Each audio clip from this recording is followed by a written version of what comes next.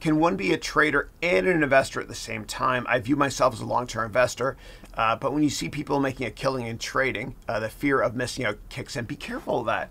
And I say with love my heart, brother. Uh, FOMO is deadly. FOMO standing for fear of missing out uh, when it comes to investing. Yeah. So what, what I love to look at, and, and I showed you a video earlier about the finance and accounting track of my MBA degree program.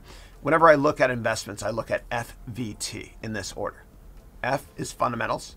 V is valuation, T is technicals. And I do look at technical analysis and I do teach about it because it is helpful when deciding when to buy a stock or add to an existing long term position or when to trim some profits. Yeah.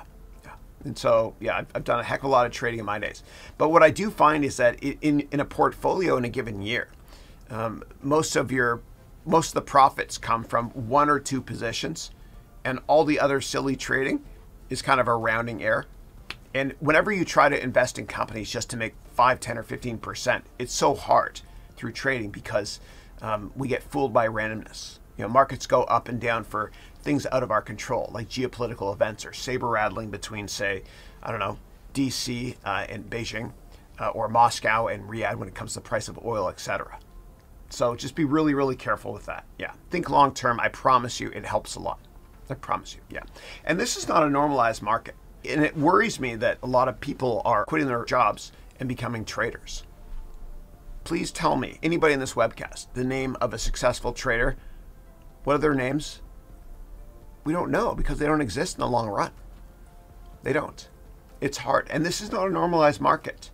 I mean, having 6% inflation and the Federal Reserve keeping rates um, unchanged is not normal.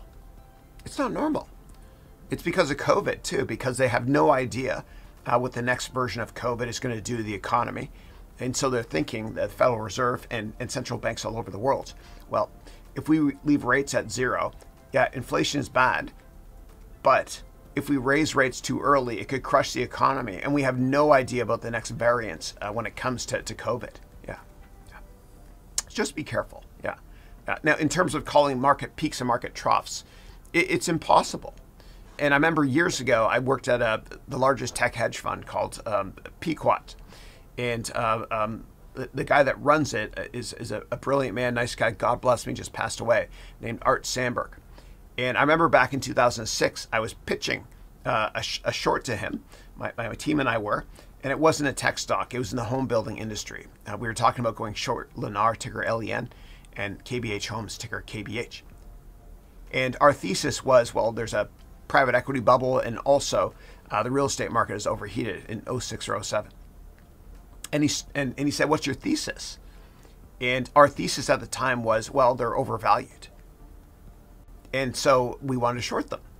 And so he said to us, very nicely, God bless him, he said, Son, I've been around long enough to know never to stand in the way of insanity. You know, markets peak, markets trough. You just can't time it, though. You can't time it. Yeah. And that's why I like to be very, very long term focused when it comes to buying stocks.